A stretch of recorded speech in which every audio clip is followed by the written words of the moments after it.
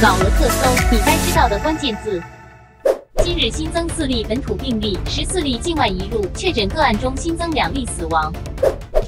三加十一不是破口。当世界各位都在担心第二季跟第三季疫苗的时候，台湾老神在在，因为六十二趴人连第一季都没有。从一开始的等着 A 利跟莫德纳，有人走向了后面挥手的国产高端疫苗。有钱人跑到国外享受别人过剩我们则没有的东西。可惜我的预算只到泸州，没到北美洲。但只要你有钱就有方案。现在除了捷克、美国本土和关岛之外，台湾最好的朋友兼邦交国博流也可以去打疫苗了。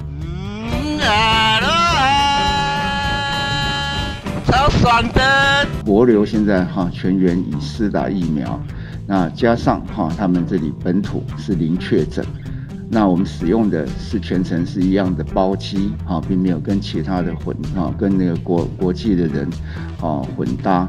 阳光沙滩比基尼，我的疫苗在哪里？旅游泡泡旅客出发前需 PCR 阴性，返国经深喉唾液检验，采防疫旅馆或家中一人一室，加强自主健康管理。第五天 PCR 阴性后，进行九天一般自主健康管理。然而仅打第一剂疫苗且未满十四天，五加九检疫被认为可能重演三加十一疫情破口。It's time to stop. 等等，什么叫破口？都已经说负全责了，你还在那边破口？大家坐好，指挥官来机会教育一下。刚好问题哈，这没有所谓的三加十一的破口了。哦，三加十一这样的政策里面，并没有影响到社区。哦，那当然有一些机组员跟家人，还有诺福特里面的一个员工，他是在里面好像是一个群聚的事件，并不算是一个社会的破口。我要再澄清一下。从华航诺福特群聚到泸州狮子会，由人与人连接到万华阿公店，现在拍板定案，华航诺福特是内部群聚事件，三加十一从来不是破口。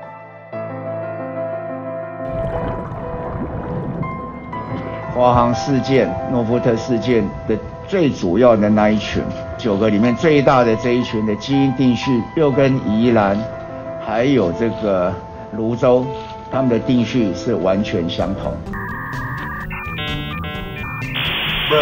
五月十五号，台北进入三级警戒以来，台湾已累计一万四千五百四十六例确诊，八百零七人病末。我一直不明白，部长说三加十一要负全责，怎么负？原来在他眼中，三加十一不是破口，所以所有境内确诊都跟三加十一无关，那就没有责任了。难怪不需要会议记录。范云这阵子是不是跑去开云端厨房了？怎么这么神奇啊？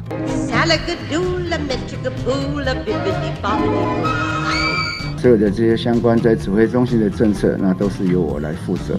不是破口就不用负责。部长说华航没有破口，次长说破口在万华。这波操作我终于看懂了，但还是有的人执迷不悟，因为吃饭睡觉打东东。柯文哲是东东。台北市长柯文哲很不是滋味，他说现在追究三加十一已不重要，八百多人因此死亡，感染源还在社区中潜伏，这让他更戒慎恐惧。政府不需要去否认错误，应该要想如何堵住破口，不让它再度发生。陈时中想说，人家在立完问他三加十一，他说他负责。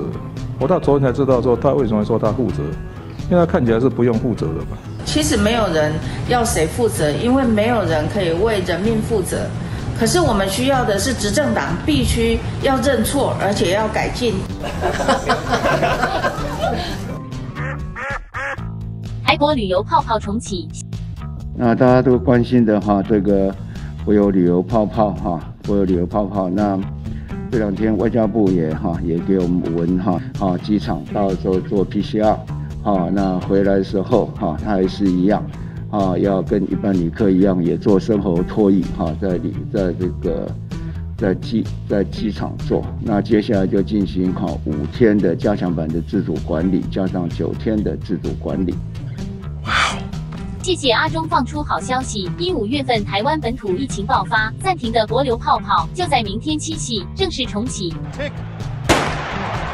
台台博泡泡 （A.K.A.） 兼具疫苗接种的维度价，费用落在三点五万到六点五万间。有旅行社一上架就塞进六百人疯抢，直接卖爆，不需要十四天住防疫旅馆隔离，比关岛行程更具吸引力。还有辉瑞、交生、莫德纳三种疫苗，共两千剂任君选择。旅客只要确认行程后，以 email 向博流观光局台湾办事处联络，到达当日就能在博流国际机场免费施打，并提供疫苗施打证明。博流观光局在双手奉上五十元美金，约台币一千四百元，作为当地旅游金。佛系公司，佛系公司。相较于四月份来讲，很大的差异是它兼具疫苗施打、疫苗旅游的这个功能。哦，那另外一个就是最大差异是，它是可以做自由行。不过，指挥中心规定，参加者得六个月没有出入境记录。如果你各位今年七月到过关岛打疫苗，很抱歉，只能跟博流泡泡说再见。当地供应施打的疫苗已交生占于五成，且八月底就到期。一时不查台湾人热情的博流观光局也已经收到爆料旅客信件，台湾旅行社怕触法，无法介入疫苗预约操作，因此就算买到行程，也不能保证有疫苗可打。陈志忠强调，博流境内已经全员打过疫苗，又是本土零确诊，我国是采用包机，也没有跟其他国际旅客混搭，算是安全的航线。国人出发前也有 PCR 检测，返国五天加强版自主健康管理完成后，还要再做一次 PCR 检测，防疫应该算是很完整。当政府采取的相对的放宽、相对的严格的过程当中，都要做好谨慎的评估。台湾经不起第二次的蹂躏，台湾经不起再度付出这么代价的惨痛的血淋淋的教训。尤其我们的经济没有办法再承受这么多的市民经济还在水深火热当中。台国的泡沫虽然一刹花火，就怕政府的把关都太脆弱。Delta 又来闯祸，我已经看破，抢不到一点都不难过，我还是去澎湖旅游泡泡就好。立陶宛与台湾互设代表处，患难能够见真情。一场疫情也能让台湾发现，原来自己有这么多朋友。继美国及日本之后，立陶宛赠台两万疫苗，十三天前已到货，数量不多，但重要的是心意。外交部七月二十号在开记者会重磅宣布，台湾即将在立陶宛的首都维尔纽斯 （Vilnius） 设立驻立陶宛台湾代表处，代表处的名称是。The Taiwanese representative office in Lithuania. 立陶宛位于欧洲东北部，为波罗的海三国之一，面积比台湾大一点八倍，人口却仅约两百八十万人。联合国统计，二零二零年立陶宛在中国进口总额只有三点八亿，占比约一点一趴；出口总额约十三点四亿美元，占比约四点一趴，并在今年五月以分化欧盟为由，正式退出中国与中东欧国家的十七加一合作机制。这次更进一步宣布与台湾互设代表处。民进党用实力告诉台湾人民，口罩外交是真外交。万岁！万岁！万岁！然而，作为欧洲国家第一个以台湾为名设立的代表处，这样的辱华行为当然是中方坚决反对。中国外交部发表声明，直指立陶宛政府不顾中方反复交涉，允许我国政府以台湾名义设立代表处，公然违背两国建交公报精神，严重损害中国主权，决定召回中国驻立陶宛大使，也要求立陶宛政府召回驻中国大使。我们敦促立方坚持一个中国原则。恪守建交承诺，我们也正告台湾当局，台独。